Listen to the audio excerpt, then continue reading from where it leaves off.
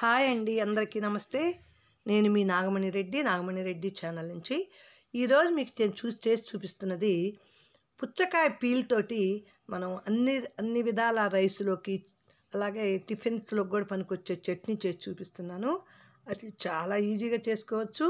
మనకు పనికిరాదు అనుకున్నటువంటి ఈ పుచ్చకాయ తొక్కు పైన తొక్కు గ్రీన్ కలర్లో ఉండే తొక్కు అంతా తీసేసి దాన్ని చక్కగా ముక్కలు కట్ చేసేసుకొని ఏమేమి వేసేసి ఎలా మనం చక్కగా తయారు చేసుకోవచ్చో చట్నీ చేసిన తర్వాత ఎంత రుచిగా ఉంటుందో చెయ్యాలి అనుకున్న వాళ్ళు తప్పనిసరిగా నా ఈ వీడియో చూసి ఒకసారి తయారు చేయండి. చేసిన తర్వాత ఎలా వచ్చిందో కామెంట్ చేయటం మర్చిపోకుండా అలాగే లైక్ చేయటం మాత్రం అసలు మర్చిపోతే ఏం కావాలో చూడండి. కావాల్సింది ఏంటంటే పుచ్చకాయ వాడిన తర్వాత ఇలా తొక్కు తీసి దానికి పైన ఈ గ్రీన్ పీస్ అంతా తీసేసి గ్రీన్ తీసేసాక వీటిని ఇంత ముక్కలుగా కట్ చేసేసుకున్నాను. అలాగే ఒక పది పచ్చిమిరపకాయలు తీసుకున్నాను. ఒక కప్పు ముక్కలకి ఒక టెన్ పచ్చిమిర్చి అలాగే ఒక ఒక హాఫ్ కప్ వచ్చేసరికి మనం వేరుశనగపప్పు తీసుకుంటున్నాం. ముందు వేరుశనగపప్పుని వేయించేసుకుందామండి. ఇది నూనె కూడా లేకుండానే వేయించేసుకోవచ్చు చక్కగా. ఇంతకుముందు కూడా ఇలా చేస్తున్నానండి అది వేరే మామూలుగా టమోటా వేసి చేసుకుంటాను యాక్చువల్లీ అది కూడా ఒకసారి చూడండి ఫ్రెండ్స్. ఇంకా పక్కన పెట్టేసేసుకున్నాను. ఇప్పుడు మనం ఈ ముక్కలు వేయించేసుకుందాం. ఈ ముక్కల్లో మాత్రం కొంచెం నూనె కూడా వేసి వేయించేసుకుందామండి. ఇదేంటంటే మనకి ముక్కల పచ్చి వాసన పోయేదాకా చక్కగా వేయించేసుకుందాం.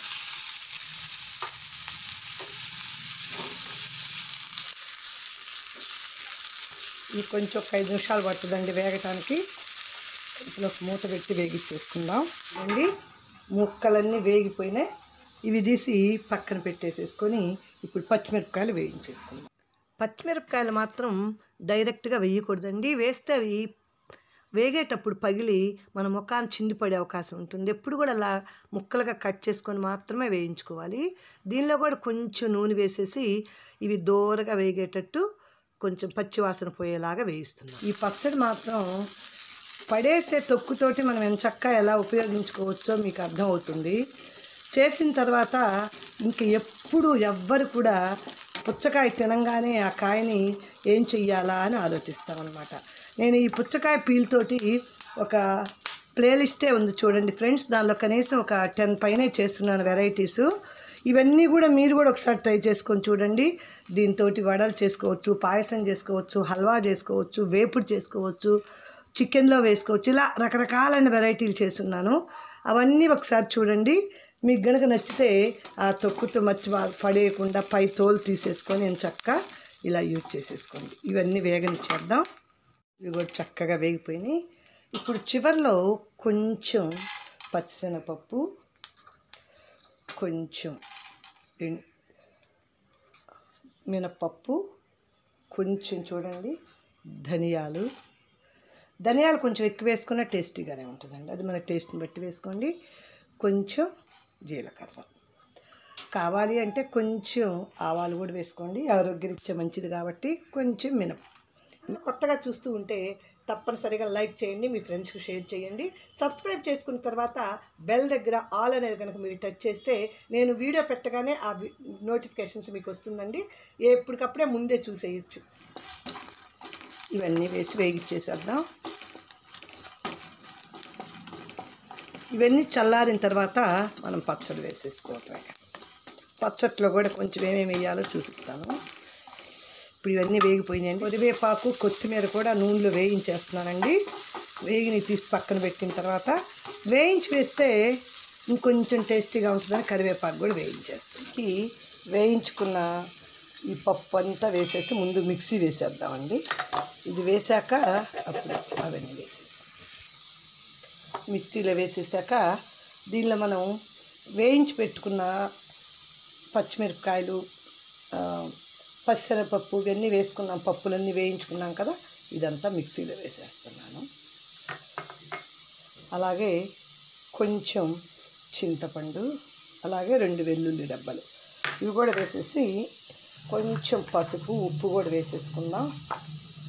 ఉప్పు సరిపడా ఉప్పు. అది సరి పచ్చడి కాబట్టి కొంచెం ఒకటిన్నర స్పూన్ వేసుకోవచ్చు. అలాగే పసుపు కూడా వేసేసుకుందాం. ఇది మెత్తగా వేసేసాక అప్పుడు ముక్కలు వేసేసుకుందామండి. పప్పులన్నీ వెదగాలి మెదగాలి కాబట్టి. ఇది కూడా మిక్సీలో వేసేసుకున్నాక ఇలా వచ్చింది. ఇప్పుడు మనం వేయించి పెట్టుకున్న కరివేపాకు కొత్తిమీర నెక్స్ట్ అలాగే వేయించి పెట్టుకున్న పుచ్చ పీలు ఉంది కదండి అవన్నీ కూడా వేసేసుకుందాం. ఇవన్నీ కూడా వేసేసి మనం తడి తగలకుండా మిక్సీలో వేసుకుంటే కొంచెం రెండు మూడు సార్లు తిప్పాల్సి వస్తూ ఉంటుందండి. ఒకవేళ మీరు ఒక చుక్క తడి వేసుకున్నా పర్లేదు అనుకుంటే కనుక ఎక్కువ రోజులు నిల్వ ఉండదు. ఫ్రిడ్జ్లో పెట్టుకున్నా ఒక టూ డేస్. అలా కాకుండా అస్సలు నూనె నూనెతోటే కనుక మనం నీళ్ళు తగలకుండా వేయించుకున్నాము అంటే కనుక వేసుకుంటే పచ్చడి మనకి వారం రోజులు ఉన్నా బాగానే ఉంటుందండి. ఇంక ఇది కూడా మెత్తగా మిక్సీలో వేసేస్తాను. ఇదిగోండి పచ్చడి అంతా వేసేసాను. చూడండి ఎంత చక్కగా వచ్చిందో పచ్చడి. మనం దీన్ని సరింగ్ బౌల్లో వేసేసుకుందాం. చూడండి ఎంత కలర్ఫుల్గా గ్రీన్ కలర్లో ఉందో మనం పచ్చిమిరపకాయలతోటే చేసాం కాబట్టి ఇది ఎండుమిరపకాయలతో కూడా చేసుకోవచ్చండి. ఆల్రెడీ నేను కా చాలా నూనె వేసాను కాబట్టి ఇంకా తిరగమాత కూడా పెట్టట్లేదు. కానీ ఎంత టేస్టీగానే ఉందండి. ఇది చట్నీ అన్నిటిలో పనికొస్తుంది. టిఫిన్లో తినచ్చు భోజనాల్లో తినచ్చు. ఇదంతా తీసేసి సరైన బౌల్లో వేసేస్తాను. పుచ్చకాయ పచ్చిమిరపకాయలు మనం అలాగే ఈ పప్పుతోటి వేరుశనగ పప్పుతోటి చట్నీ. చాలా టేస్టీగా ఉంటుంది. మీరు ఎంచక్క ఒకసారి ఇలా ట్రై చేయండి ఫ్రెండ్స్. చేసి ఎలా వచ్చిందో నాకు కామెంట్ చేయటం మాత్రం మర్చిపోవద్దు. మీకు నచ్చితే మీ ఫ్రెండ్స్కి షేర్ చేయండి. అలాగే లైక్ చేయటం మాత్రం అస్సలు మర్చిపోవద్దండి. లైక్ చేసినందువల్ల ఇంకా ఎక్కువ మందికి వెళ్తూ ఉంటుంది. నా వీడియోలు సబ్స్క్రైబ్ చేసుకోకుండానే నైంటీ టూ పర్సెంట్ చూస్తున్నట్టు ఎనలటిక్స్లో వస్తుంది. ప్లీజ్ అందరూ సబ్స్క్రైబ్ చేసుకొని నా సింపుల్ సింపుల్ వంటలు రోజు రెగ్యులర్గా ఫాలో అవుతారని ఆశిస్తున్నానండి. చూసారు కదండి ఎంత చక్కగా వచ్చిందో. ఇంత ఈజీగా ఎవరైనా చేసుకోవచ్చు. మీరు ఒకసారి ట్రై చేయండి. ఎలా వచ్చిందో కామెంట్ చేయటం మాత్రం మర్చిపోవద్దు.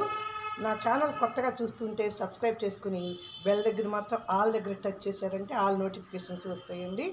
లైక్ చేయటం మాత్రం మర్చిపోవద్దు. మీ ఫ్రెండ్స్కి షేర్ చేయండి. మంచిగా ఎలా వచ్చిందో మీరు చేశాక కామెంట్ చేయండి.